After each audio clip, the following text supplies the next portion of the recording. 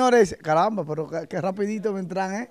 Mire, eh, hoy eh, el programa, un programa que nosotros hoy nos sentimos un poco tristes.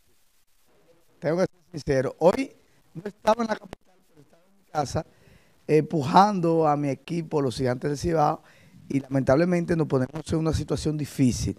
Dejé el juego perdiendo cinco carreras por tres ante los indetenibles eh, Tigres del Licey. Y de verdad que eh, de, perder el partido de hoy eh, nos colocamos 4 por 5, 5 por 4 será.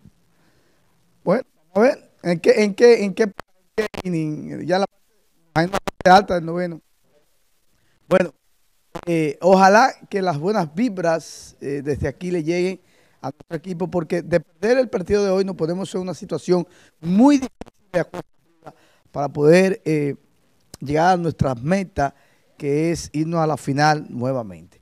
Pero vamos a esperar que las cosas salgan bien ahora en esta parte alta del último inning, pues eh, a mi entender, de los pocos conocimientos que tengo de la pelota, entiendo que nuestro, nuestro pitch de relevo, el picheo de relevo, está teniendo bastante problemas y complicaciones. Los jugadores, por ejemplo,